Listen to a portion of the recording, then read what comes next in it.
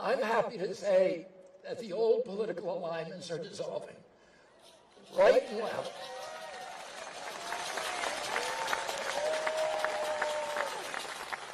The right and the left have become all mixed up anyhow.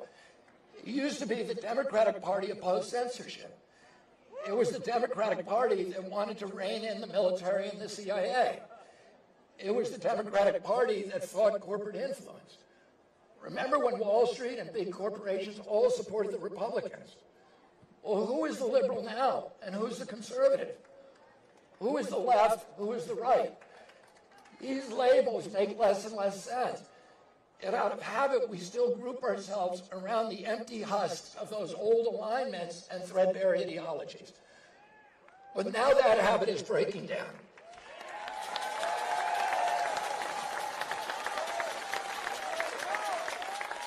That's why half the electorate no longer identifies with any political party. And 63% of Americans want an independent to run for president.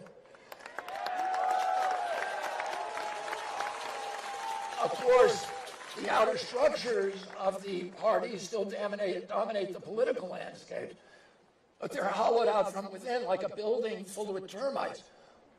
What kind of new political structures might emerge from those ruins? What is politics going to look like when it's no longer us versus them? American democracy should be more than just picking between two candidates anointed by shadowy institutions.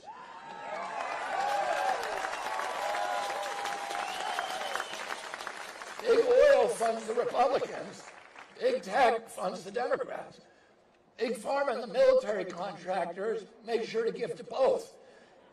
Instead of two parties, we have this kind of uniparty, a, a two-headed monster that's constantly bickering with itself as it leads us all over a cliff.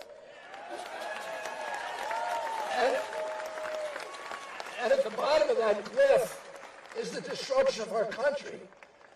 Neither party has offered any kind of meaningful resistance to the endless wars that have sucked dry our wealth and slaughtered our youth.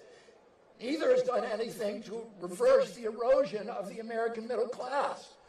Both of them are powerless to rein in our exploding deficits. They have contributed equally to the corporate giveaways, to the corruption in Washington, and to the erection of a surveillance state. Yeah, there are good and honest people within both parties, even in their leadership. But the system itself is hopelessly corrupt.